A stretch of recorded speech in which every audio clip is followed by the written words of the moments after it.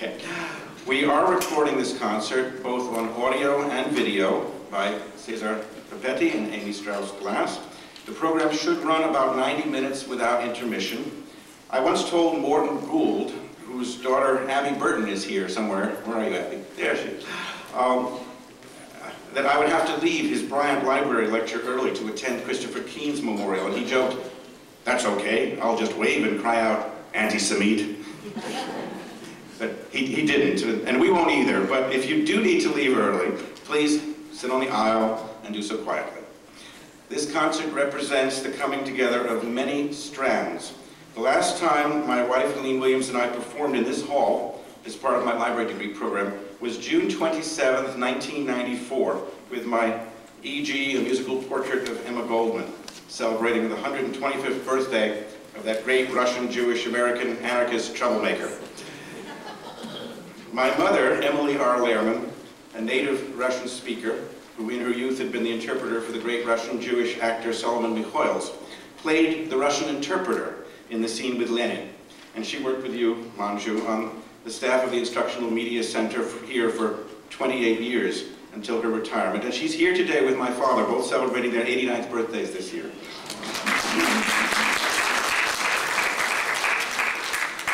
And speaking of Russian connections, we're very pleased to welcome now to the stage Dr. Olga Zatsepina, director of the Russian American Cultural Heritage Center, who will make a presentation of a book she's co-written on this first day of the first Russian-American History Month in New York State.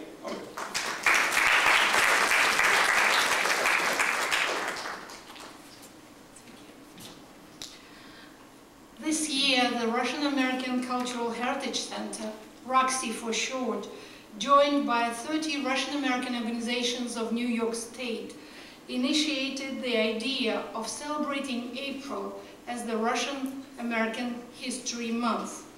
And the main intent of the Russian-American History Month is to draw the attention of the general public to the history of Russian Americans and the role they have played and still play in the history of the United States.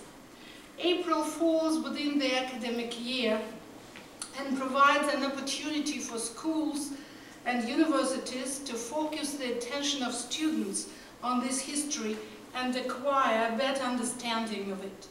Also, it gives an opportunity for events such as this concert today to recall matters significant to the Russian American community, like the tremendous contributions of Russian American Jews to American musical culture.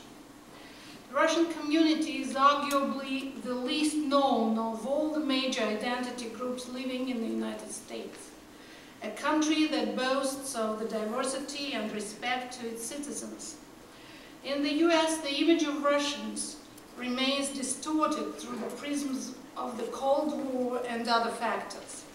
This month of respectful attention will encourage a more informed and more positive perspective.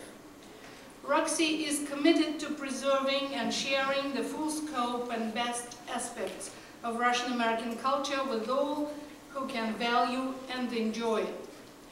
Those of you who speak and read Russian may be interested in reading a book, Russians in the USA, Organizations of Russian Immigration in the 20th and 21st Centuries, published a few months ago that I had the privilege of co-authoring with Dr. Alexander Ruchkin. Feel free to take one if you're interested.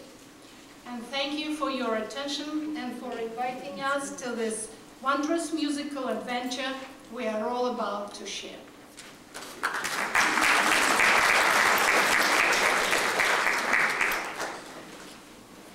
Thank you, Olga. As, as requested, now copies of this book are available here, free. They are in Russian, hasn't been translated yet, but hopefully they will be soon. Also available are CDs for sale at $15 apiece by various members of the Long Island Composers Alliance. As requested, uh, this book will be critiqued by my mother and then donated to the Russian collection of the Queens College Library in the name of the Waldepp Foundation, which has co-sponsored this event along with my father's Professor H. Lehrman Memorial Foundation, named after his brother, who was a well-known professor and translator of Russian literature into English.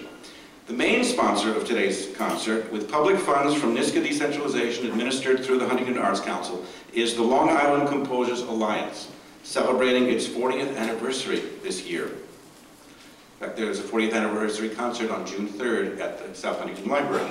The first piece on today's program, written for this concert, is by LICA's co-founder and current president, Hofstra professor Herbert A. Deutsch.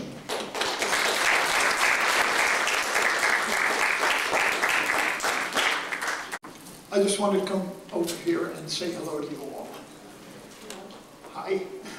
I've seen, I've seen many of you, I know many of you, the Long Island Composers Alliance, as Leonard has said, has been around now for 40 years. Uh, I am one of the co-founders of it. The other co-founder is not here today, was unable to make it. Uh, we welcome you to, uh, to our 40th anniversary concert. Uh, certainly keep, it, keep in mind June 3rd, it's going to be at the South Huntington Public Library, which is the place where we did our first concert in 1972. I'm not going to speak, I'm going to just go over and play our first piece. Uh, this is, um, it's a program opener. Um, it is, uh, uh, it is considered on here a world premiere, but when you hear the music, it's really not a world premiere. Uh, it, today is April 1st, and I'd like to think of it as a little bit like April Fool's Day. And next week is the beginning of Pesach. So what I decided to do was to just have fun with a couple of pieces that you will all know from Seder's, uh, and um, do them electronically. So I've given it the unreal name of Electro Pesach. I couldn't think of anything else.